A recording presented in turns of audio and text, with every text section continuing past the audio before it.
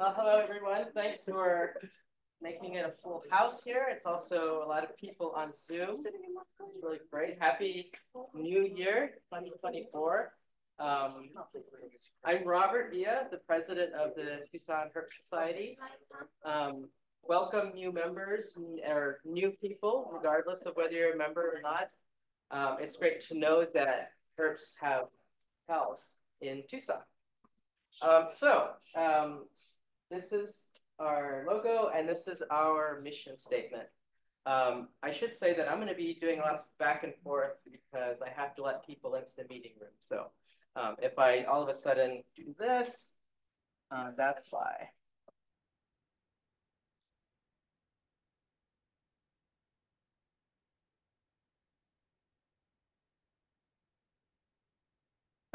Oh, helps to turn it on. Okay. So, skugdash. Let me say that. Skugdash.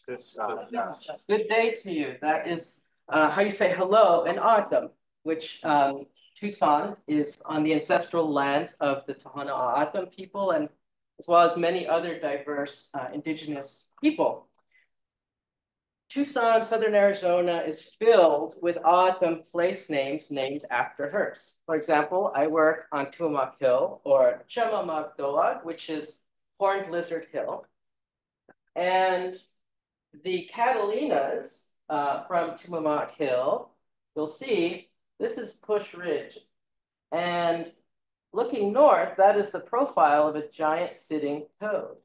And it's why the Catalinas are called Babagdoag or Toad Mountain. And here's the west side of Push Peak, which looks like the dorsal surface of a giant toad. There's also a place called Snake Town, which in O'odham means sure are a lot of rattlesnakes around. So since this is the first uh, meeting of the year, I'd like to recognize our friends and partners um, that uh, we have collaborated with. Uh, this, the Cecil Schwalbe Cold-Blooded Research Fund was established by Carol Schwalbe, who's here tonight, um, for um, fish and, uh, well, cold-blooded research, uh, herps and fish. Um, we've collaborated with Greater Good Charities, which we'll learn about uh, in a little bit. Um, our friends Fauno are a group in Baja California that works to monitor small invertebrates or small vertebrates and uh, riparian ecosystems, especially herps. Um, and then Cream Design and Print who uh, make the Save the Sonoran, Protect the Sonoran Desert Toad uh, design, which uh, funds our Sonoran Desert Toad Fund. So we also have some swag, which I'm wearing our newest uh, item, the baseball cap. And uh, we sold out very recently. If you'd like to buy any of our merchandise, uh, see Maggie uh, at the back of the room, and uh, it'll it'll help us continue to do the things that we do, like the Charles Lowe Herp Research Fund, um, which we uh, sponsored four projects last year, and the Sonoran Desert Toad Fund. So if you go to Cream, um, the the shop, um, most of the items with this logo uh, uh, proceeds go into our Sonoran Desert Toad Fund. And uh, we funded four very great projects last year to understand the needs of the species. Um, at our silent auction um, and merchandise, at our meeting in November, we raised almost a thousand dollars. So thank you for, for those of you who participated. Here's a wonderful print by Bettina Jones, uh, Day of the Dead Gila Monsters. Um, we also help sponsor the publication of books. And um, the most notable one uh, tonight is uh, The Venomous Animals uh, book and the, um, excuse me, the Lizards book, which Larry Jones authored. Um, so Snakes of Arizona started a series uh, in which the amphibians and lizards and turtles are going to be treated. And so this website, you can upload images and observations to help with that project. Um, so um, Larry Jones is one of the editors of the lizard volume, and it turns out that he became the recipient of the Jarchow Conservation Award, which was established in 1992 to honor James Jarchow, a reptile and amphibian veterinarian here in Tucson who uh, exemplifies service to the conservation of our uh, amphibians and reptiles of, of, the deserts of North America. And so the award recognizes people who have done a lot uh, and not really been recognized uh, sufficiently enough. So uh, Larry, congratulations. Thank you.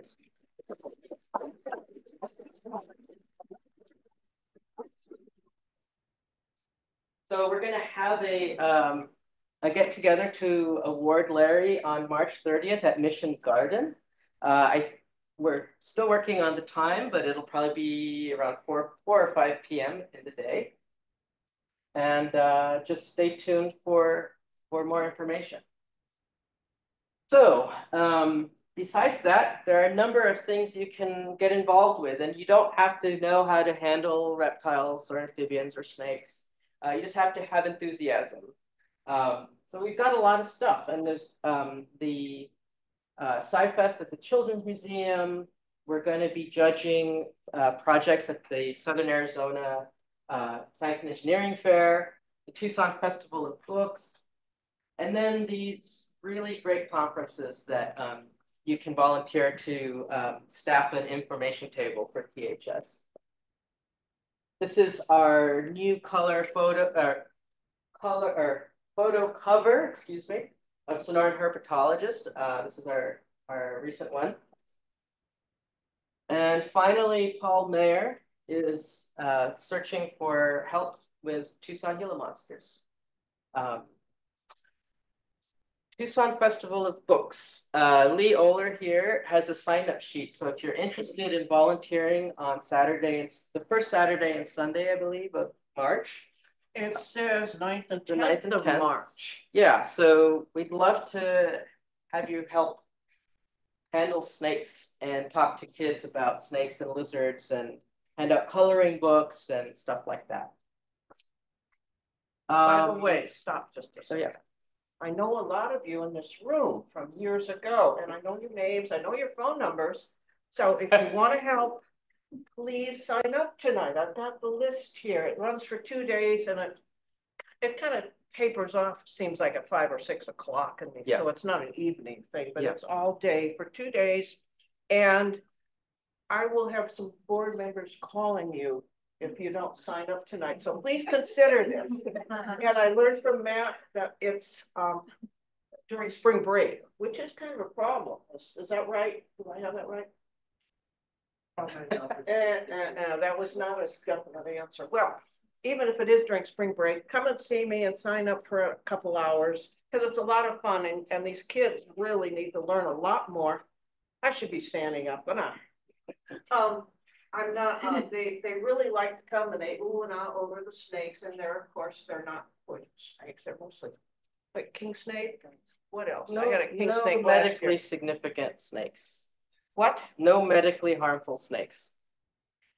Yeah. Because some yeah. of them are venomous. But... Nobody will get um, be taken to the hospital because of the snakes. and and there's also some in cases so that are a little yeah. more. Uh, they're little. They're too little to handle. I mean, you don't want kids petting them. Yeah. And but the big, I, I don't know what I had last year. Uh, you had a gopher snake, and I had a gopher snake. So we're we always we've made the front page of the newspaper, so we're kind of like uh, the main, like a popular attraction at very popular. They were lined up to pet the gopher snake. Yeah. At the end of the day, he was. If a snake could curdle into the fetal position, he was tired. But anyhow, yeah, he was tired. I have this sign up page here, and I have a pencil. I have two or three pencils. So please see me before you leave. I really appreciate it because otherwise I think Maggie made me do. Maggie will be very upset if you don't sign up, and we don't want Maggie upset, right, Maggie? Yeah. Yeah. See, so somehow. Thank right. You. So before I introduce our next speaker, um, we have a YouTube channel. So we're being recorded right now, um, so that people who can't couldn't make it tonight can um, watch the the um, the presentations. Um, and so this year we're going back to an every other month uh, presentation. So every odd uh, numbered month, we will have a meeting here um, and that's how it will be. So Um, this is one of my best friends, Tom Van Devender. And um, I, there are a lot of great things we could say about him. Um, he is affectionately known in Mexico as uh, one of the uh, famous uh, celebrity botanists of Mexico's Northwest and affectionately known as Planta Claus. Um, I'll never forget the day that he, I was in Sonora with him and I was really excited about all the cool reptiles and amphibians I was gonna uh, uncover in the Sierra Bacadehuachi. And we did, but he said, um, that's great, but I want you to come back with 10 plants that are different and uh, you'll have to learn their names by the end of the, of the trip. And um, I didn't realize it, but once there was a plant press in my backpack, um, I couldn't stop collecting plants.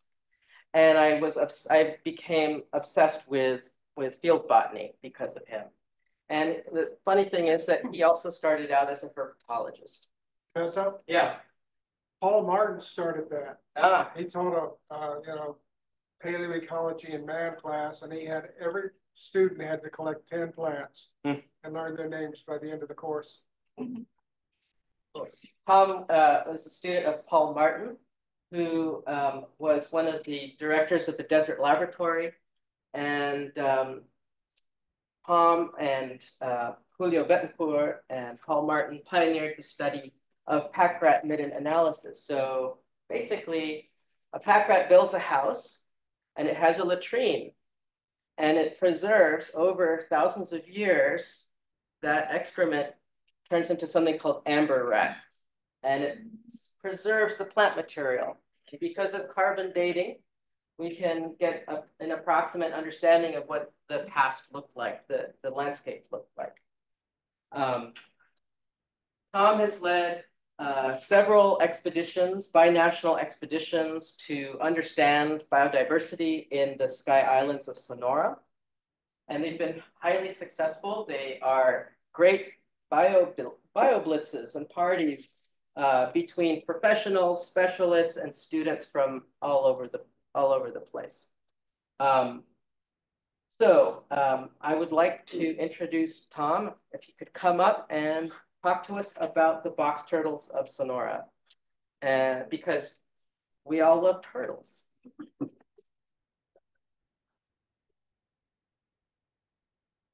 A slot. Here we have it. That's stuff. Yep. I'll share it with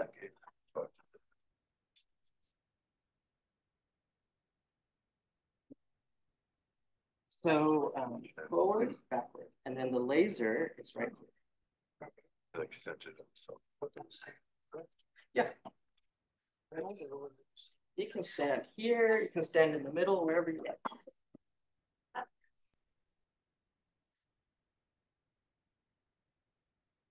see the slides. Hey, it's great to be here. Um, we, we've got a lot of different projects going on, and we studied a lot of different plants and animals. But I started off as a herpetologist, and my heart's still there for some things. But we had a, uh, a Duran Discovery expedition to a ranch called Rancho El Chairababi. And one of the, it was up in the oak woodland, and one day we were there, and my wife found Lilia back and found a a shell of a turtle sitting in the bush, you know. Well, okay, it looked like a mud turtle, looked like a Kinosternon. Well, you know, uh, Steve Hale was there, Betsy Burton was there, and I was there. So we're all standing around looking at this thing, and we turned it over. So I think it's a box turtle.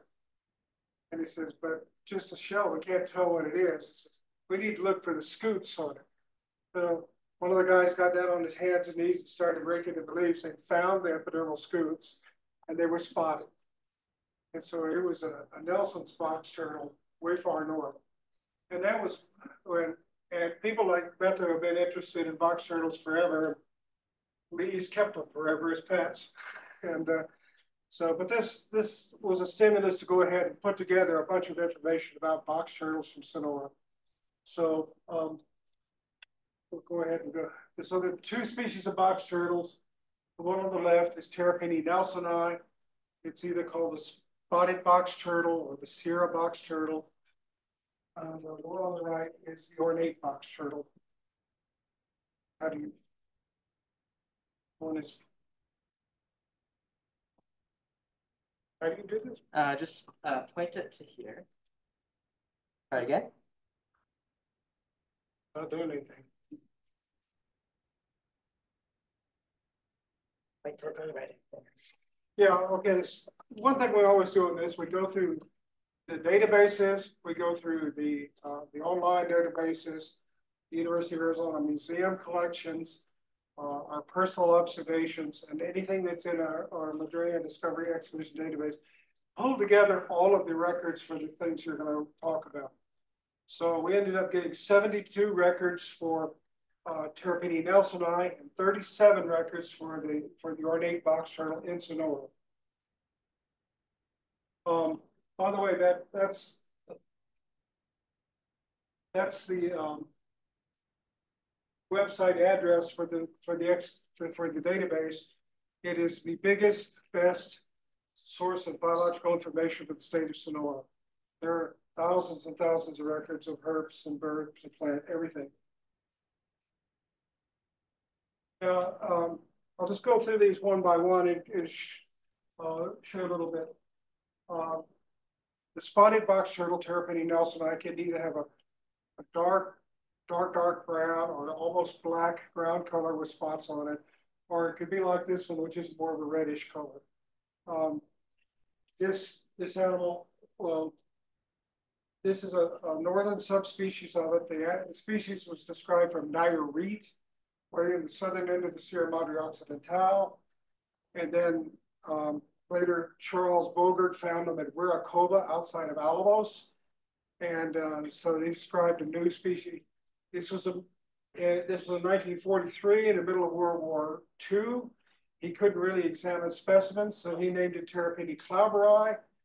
And then, you know, very quickly they realized that it, it was the same animal that had been described in Nayarit and just raised it to a subspecies. Um, now, the one on the top right up there, we've run into a couple, a couple of old, really old individuals. That was an old, old animal there that had lost all of its cover, color and got sort of this yellow bottle pattern. And um, the one about here is one that Michael Bogan saw on the Rio Aros.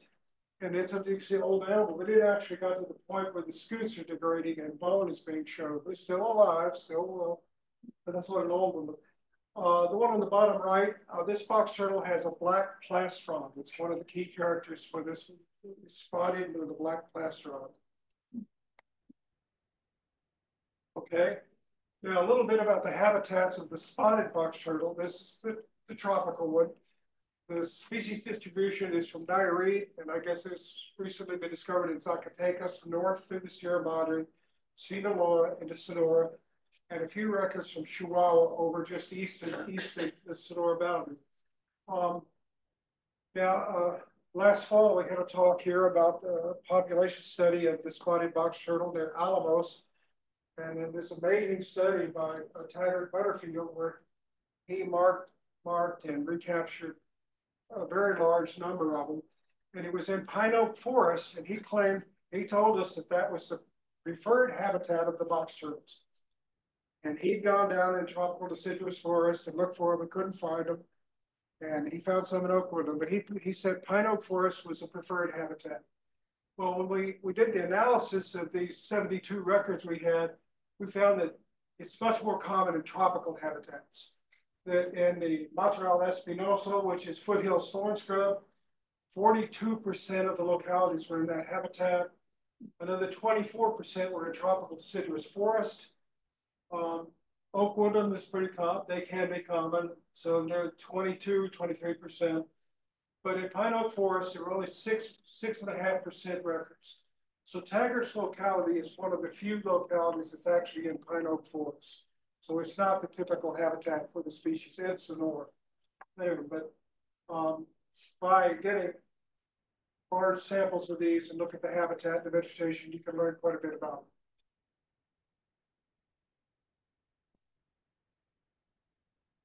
them. Okay, now these these are uh, samples of the ornate box turtle, Terrapene ornata. It's the subspecies luteola.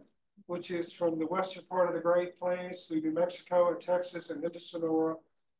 And there's an eastern subspecies, the term ornata ornata, that's uh, further east in the Great Plains, as far north as Illinois and places like that. Uh, the one on the top is a fairly typical adult. They have that starburst pattern.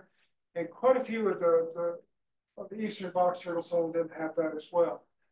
The one on the right is an old individual that's turned into, uh, where the pattern's been lost, it's gone to a horn color. Uh, out of the 37 animals that we saw, that was the only one that had this kind of pattern. George Ferguson tells us, tells us that further east in some of the literature, that's a common, um, that both males and females, when they get old, they will switch to a horn color pattern like that. Uh, we haven't, that's the only one we've seen in Sonora that looked like that.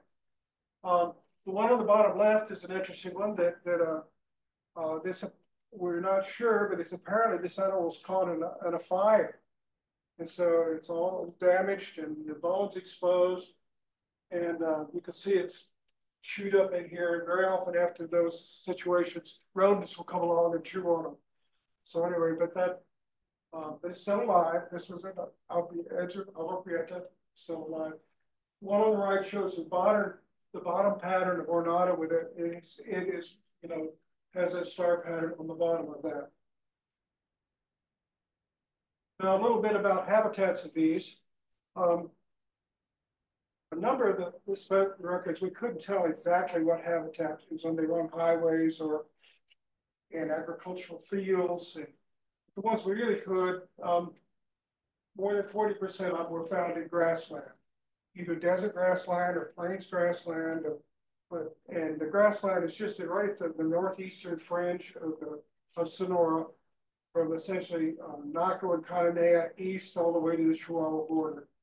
There, there's good grasslands. They're also found in Chihuahua desert scrub, and that's not too surprising because Chihuahua desert scrub and desert grassland form a mosaic all the way across the southwest of most of the northern Chihuahua desert. And very often you'll get desert grassland on the deep soils and you'll get Chihuahua desert on the rocky slopes. So those, those two habitats are really very closely related. Um, so uh, I haven't been mentioned, but the, the maps, are the distribution maps there, the yellow spots is or not. Um, we just submitted a paper putting all the results of distribution ecology that'll be in the next um, uh, Sonoran herpetologist. So there'll be a you know a, nice write up uh, with this information. Um, yeah, I'll, I'll come back to it in a minute, but notice this one here, way down here, far away from the other ones here. Okay, now um, Box turtles are often found on highways and uh, along riverbeds, and quite a few of the spotted box turtles were found along the um, Rio Paros here. That's that's a, a, tributary of the Rio Yaqui and, and uh, eastern Sonora. Very, very rich thorn scrub along there, but uh, people rafting down the river see them there. Um, the anyway, but what I'm getting at is that there are sort of natural corridors, they can follow riparian uh, rivers or the floodplains, so they can go follow along those, as well as being in the upland natural habitats. Um, they can, uh, I'll show one later, but they can, they also can follow highways. And they also turn up in, in uh, agricultural fields which have artificial water. So it's kind of hard to tell what the natural habitat of some of those some of those places are. The, the bottom photograph there is the Rio Cuchujaqui outside of Alamos. And uh, Terrapene nelsoni is, it's hard to find, but it seems to be scattered throughout the tropical deciduous forest around Alamos. Okay, now box turtles have a strange relationship with. Oh, I think you skipped two slides. So Here's the original one, and here's the next one. Okay. Um, yeah, when we started this, it was assumed that there was no sympatry between the two species of box turtles here. They're both put in the, in the ornata group of box turtles, And that's as opposed to the Carolina group, the eastern box turtles. There's two major divisions within the B genus Terrapene. And the western group is just these two species form the western group. And it was sort of assumed that there was no uh, overlap at all for them. But um, the, the record that started this particular project was right here. So this is outside of Kapur Bay, and the southernmost Ornata is right here. And uh, so it looks like the ranges overlap at least that far. But it's not that simple because the, the Nelsoni was up on a ridge in oak woodland, natural oak woodland habitat. And the um, the Ornata down there at they're called country, was in an agricultural field outside of the high outside of the town along a highway. So there's always a possibility that it was transported south or that all along the Rio Sonora, there's, there's, there's scattered populations of the thing in there. So, but anyway, there was a potential overlap there. Um, it is another, another factor is see the brown color here? That's all foothill thorn scrub. And the Sierra Aconchi right outside of here has got both oak woodland and foothill thorn scrub, two of the prime habitats of Nelsoni. And so if they're actually, if you go in there and explore, you might well find um, the spotted box turtle naturally on the upland habitats here. Then you could have, have Ornata along the, the, the Rio Sonora Valley. Okay, now let's talk about the relationship of roads there. That um, this this one here is that picture of that animal that was found at, at Huépac. That's that southernmost uh, ornate box turtle locality. It, not a very good photograph and it looked like too healthy of an animal, but it was in an agricultural field near town. Um, the one on the right there is a specimen that's in the U.S. National Museum that um, Charles Bogert collected in 1953 at Guaymas. So you can see from the little map here, that's the southernmost record that we, we know for sure. That specimen was collected way the hell down here. And it's it's either Sonoran Desert or Thorn Scrub transition Today, it's along the highway, it's completely invaded by buffelgrass, but that's a huge range extension and the habitat, none of that habitat is suitable for ornate box turtle. In 1953, one of the only major highways was Mexico 15. It went from Nogales south straight through there and then all, all the way down, you know, all, all the way down western Mexico. So I think it's very likely uh, in general, everybody discounts that specimen as one that's been transported to there and not reliable. Um, of course, uh, highways are a major cause of mortality. It's also a place where somebody, uh, a curious person might pick one up and take it home as a pet. So highways are, you know, um, there may be a natural dispersal corridor along the pseudo-riparian habitats along highways or there may be causes of mortality or, or um, people pick them up as pets. Now I go a little bit of, we're, we're uh, we started this paper and it, it, like a lot of papers often do, it's sort of, it's like adding yeast to bread. It grew and grew and grew. We got interested in the fossil history of box turtles and so what we ended up doing is splitting all of that out, and that'll be a future paper, which we're working on now.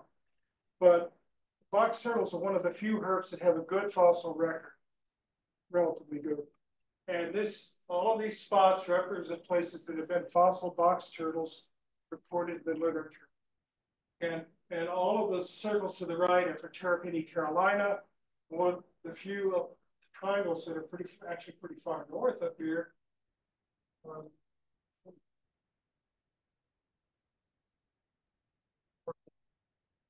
anyway, but the triangles up at the top up there are for uh, ornate box turtles. And uh, the fossil record goes back into the late Miocene, Pliocene. And um, uh, the older records are, are two extinct subspecies. The- There's a Terrapene Carolina putnami was, was a little bit, was one that was recognizably different from most of those Florida records and all the ones that are older than Pleistocene. And those up in the north up there are, are uh, ornata longi insulae. So it's an extinct subspecies of the ornate box turtle. Uh, and just remember this map because this, um, there's, there's only one fossil box turtle record from all of Mexico. And we got it about right here. And it wasn't identified as species, so. Uh, uh, it's a complete absence of fossil records south of the border. Okay, let's get to this.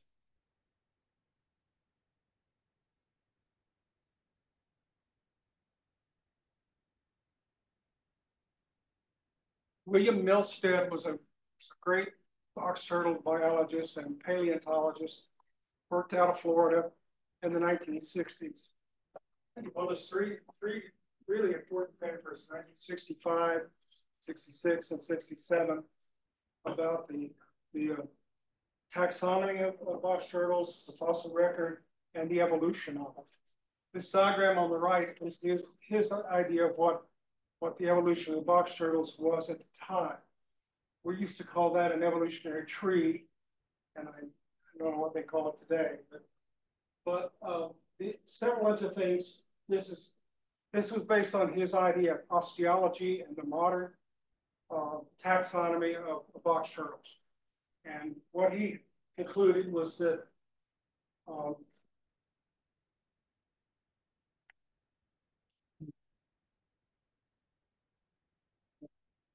Anyway, what to see on the thing on the right, look, way down in the bottom, there's several branches there. And off the bottom of the thing, it said a, a Clemmys-like ancestor. Clemmys is the western box turtle.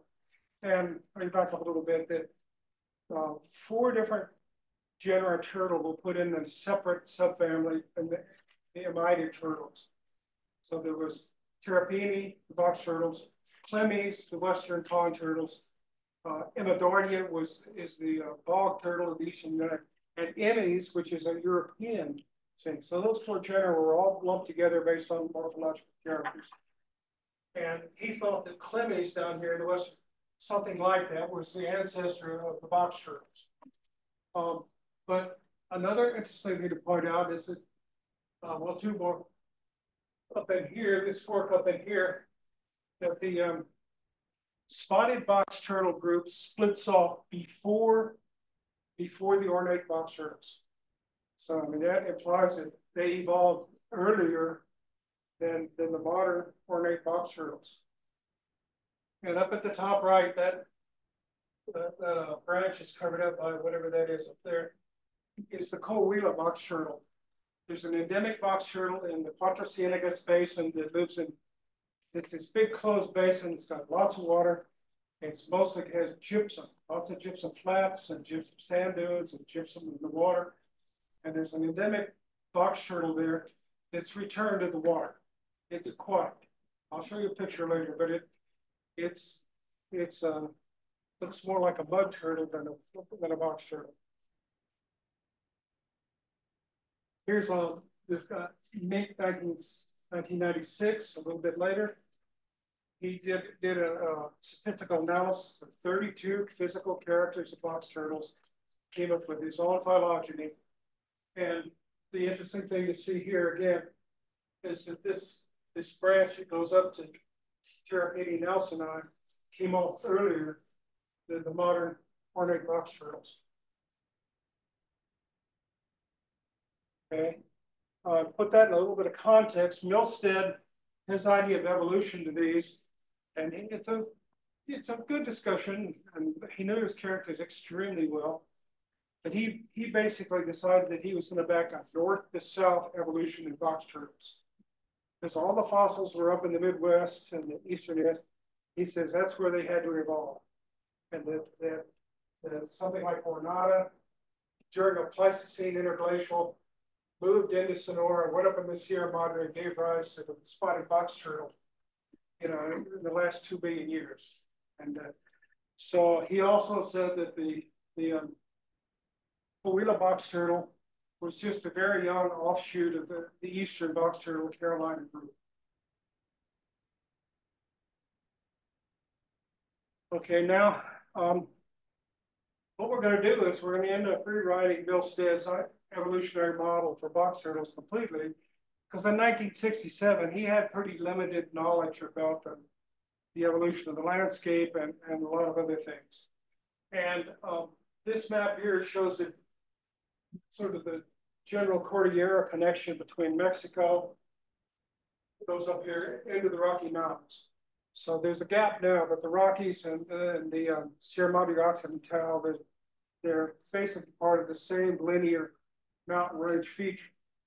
Um, on the right there is sort of the main uh, geographic sections of, of Mexico, with Sierra Madre Occidental on the left, Sierra Madre Oriental in the east, and in between is the Mexican plateau. And uh, what, what's important to know now is that the, the uplift of the Sierra Madres, and it was in the late Oligocene, early Miocene.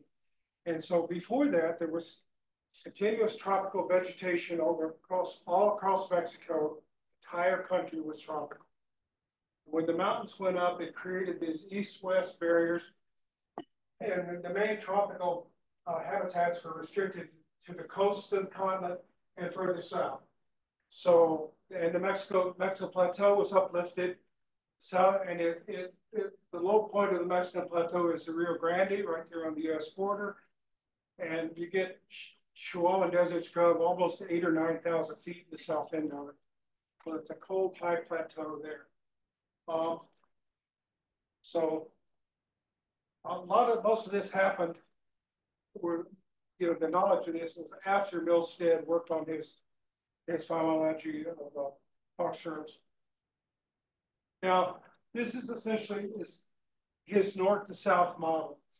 And the one up there, he basically said that the Terrapene ornata luteola, the you know the western box turtle, ornate box turtle we have, was one of the ancestral types. That it gave rise to ornata ornata, the one at east that goes up to Illinois, and it also sort of had some connection to the Sierra Madre, and from that, all of the Nelsoni evolved from that. So that was a north-south kind of a model. And I don't, I haven't worked out the details yet, but the Carolina was the same sort of thing. You have Terrapene, Carolina, the eastern United States into Texas. South, in this area, you get Terrapene mexicana, and on the Yucatan Peninsula, way down there, you have Terrapene yucatana. But those have been considered subspecies of, of the eastern box turtle or separate species, either one. But that was a north to south kind of model.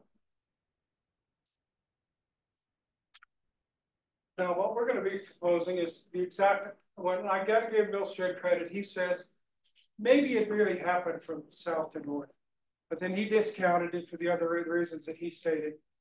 But uh, we're fairly sure that it did happen that way for, for a number of reasons.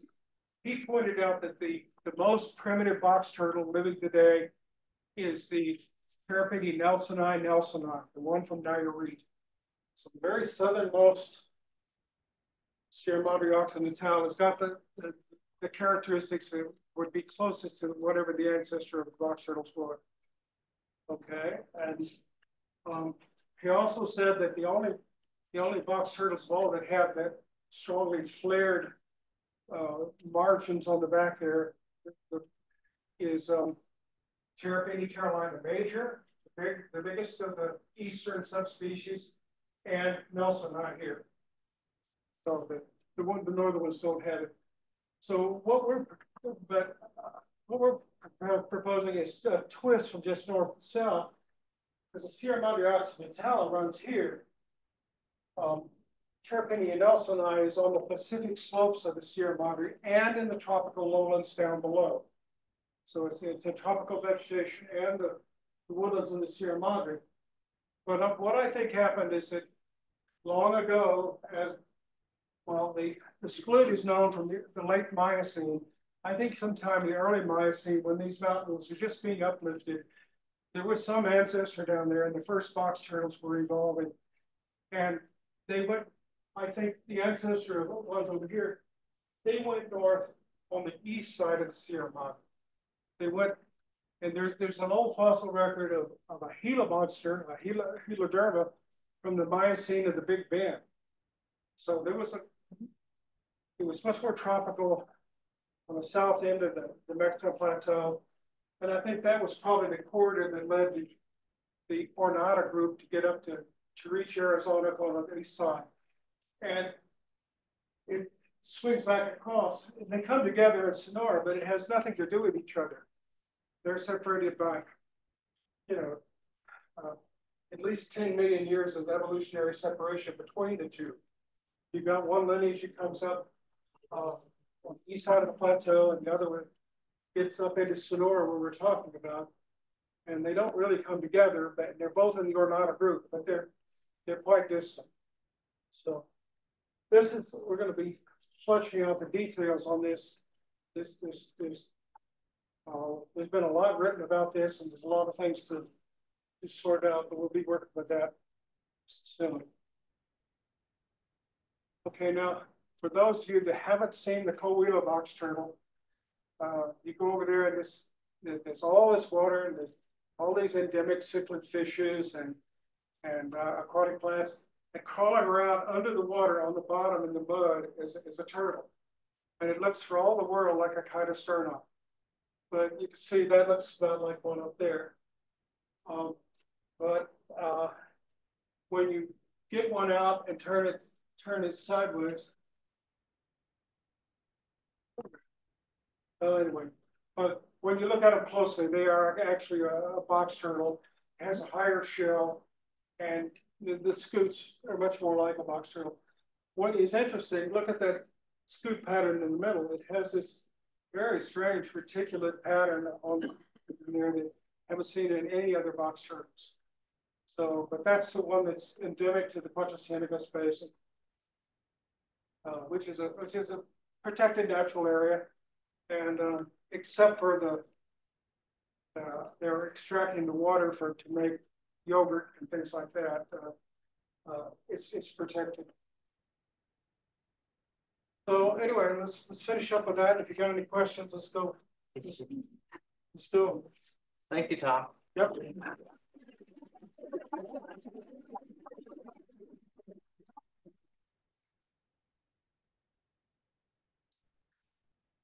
Questions on So what are the ages? You know, we saw some pretty old looking uh, box turtles there, but what is the longevity?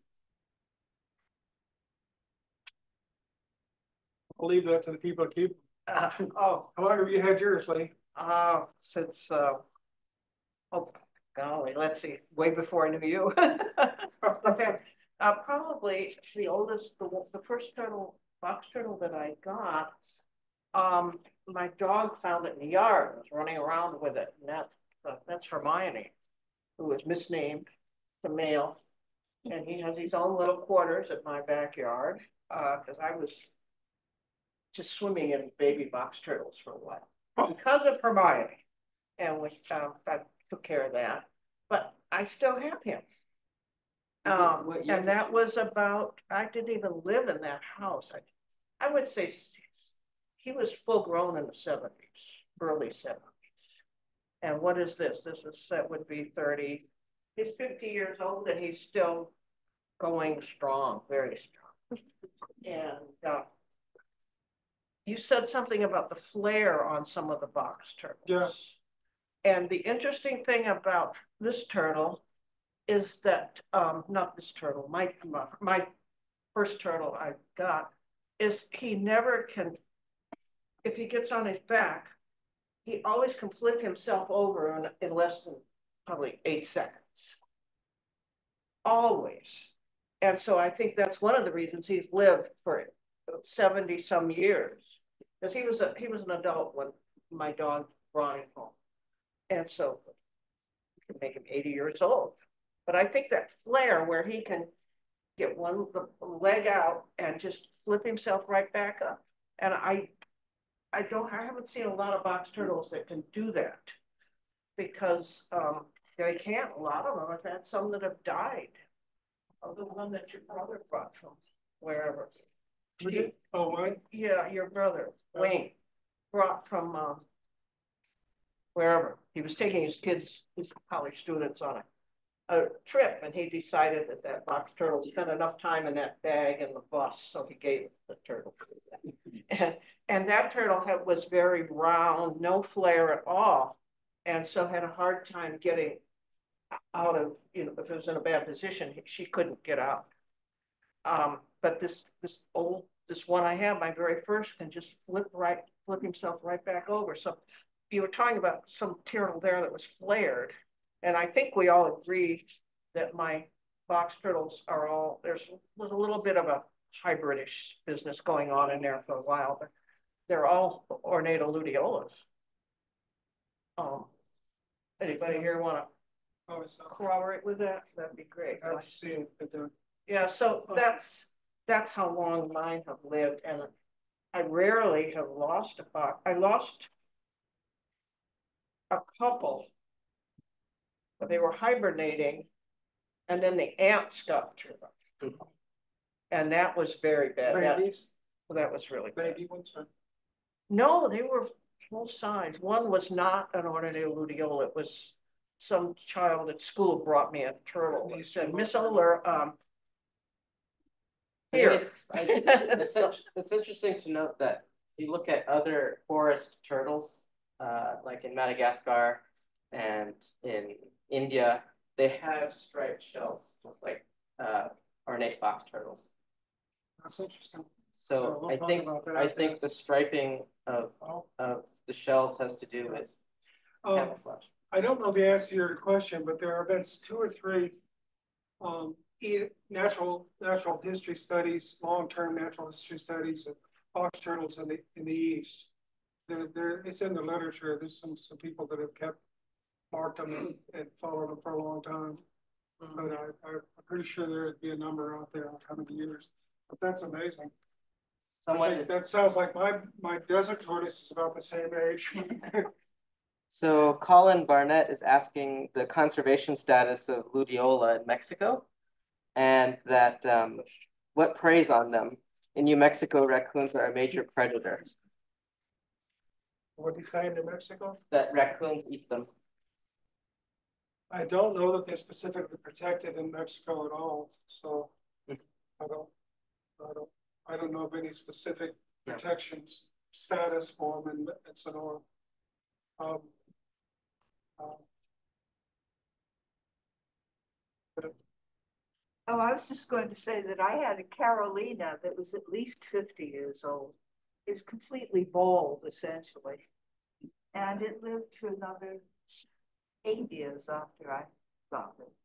So close to sixty anyway. What do you mean by bald? Also scutes? or I'm sorry? What was bald mean? He looked, he looked bald because the scutes were all, you know, worn off. It just got uniform color? Yeah. Yeah, well. George Ferguson told, told me that he had eight luteolas that he kept as a pet for a long time. And all eight of them turned that horn color. It went from males and females, so I guess further east, that's a possibility, but. um, Uh, about the horn color and the stripe, I think the ornata, ornata has bigger stripes. Or wider apart, who does? the ornata, ornata, we didn't talk about that tonight, but the Yeah. luteola, the stripes.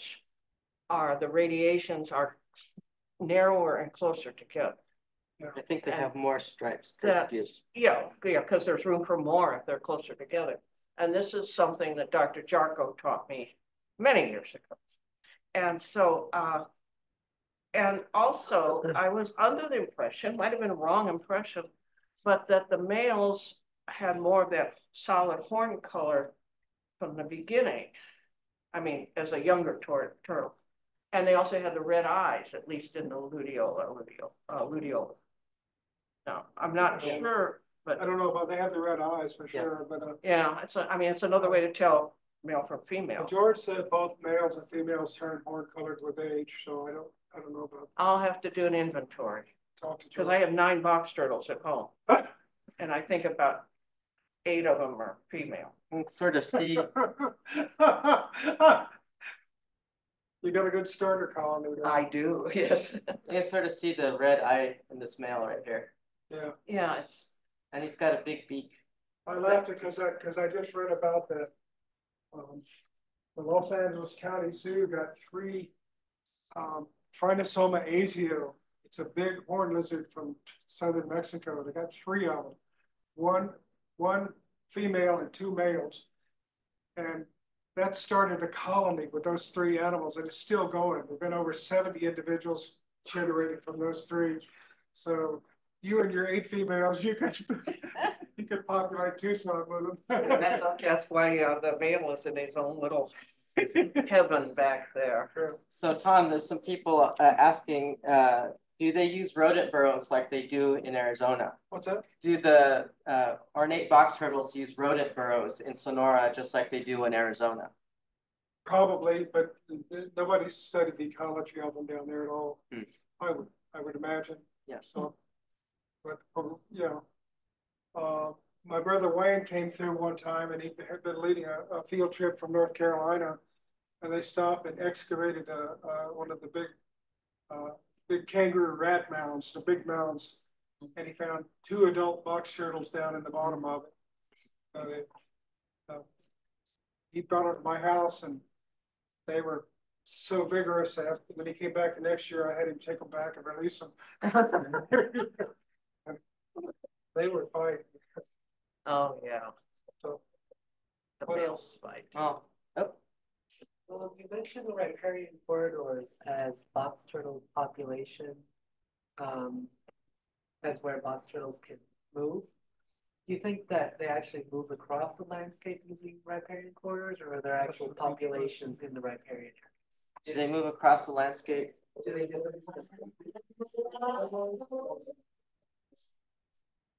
So do they use the, the rivers as actual corridors or are there actual populations in the, in the riparian areas? I think they live there. Yeah. Yeah, they're fine there, but it's just.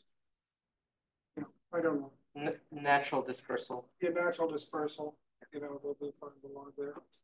You know, Tom, and all that details of ecology, nobody's really studied it. It would be interesting to know. but- hey, Tom, this, this pattern Yeah, of, think two weeks ago, they had a uh, program on uh, a new area of ecology, and they're referring to it as road ecology. And uh, it's interesting, you're talking about the pseudo riparian habitat along the road. Uh, with more and more roads that we see, especially to the west. Uh, what kind of an impact? You kind of alluded to this. But you see more of these box turtles that are coming along the roads in those pseudo riparian habitats. Like I say, it's a mixed bag. If, if, if they can, if it's a little bit wetter along the highway than it is out away from there, they, they might live along there and, and, and expand their range. But at the same time, they get killed on highways all the time, so I, I don't know, but we had one, Dale, well, Dale, we had one that was on Mexico too, and Dale saw it, and we screeched a halt. and He went back and saw it and picked it up, walked a hundred yards back, put it through a fence and came back up and said, did you take a picture? And he says, no, well, let's go find it and take a picture. We went back and then it turned around and went that hundred yards back onto the highway and got hit. I mean, and it had to go through Johnson grass about this high and, uh, just, so, yeah. But, um, Do you think they might seek out the highway for heat? what's up? Do you think they might seek out the highways for heat, Heat. warmth? For heat, warmth? I think it's the, the puddles and, and the thick vegetation, I think has uh humid, nice humidity. There also might be tadpoles and frogs that are breeding on the roadside that they might want to eat. Well, I think a lot of this interest in highways is interesting, but maybe not that interesting, because it's really well known that most of the animals that get killed on highways are males. And the excess males in populations often disperse away from the core populations and end up on highways. I think Phil Rosen was saying that most of the rattlesnakes killed in Organ Pipe were male. So, uh, you'd, you'd have to study the situation, but, you know, there's, there's been quite a bit of study about roadkill like the last few years, but. Yeah. Well, there was, there was an article in, in the Star six months ago or something about some rattlesnake, some guy in Phoenix was saying, well, we shouldn't, shouldn't have Interstate eleven because it'll impact the rattlesnake populations. And, you know, he implied that uh, no- another freeway would, would hurt the rattlesnake populations. And that completely ignores the ecology that most of the ones that get hit on the highway are males, excess males. And that there's all kinds of, um, the vast area of the untouched habitat is, is out there away from it. That's where the main populations are, so. But, Well, thank you so much, Tom. all right, comes you. Out.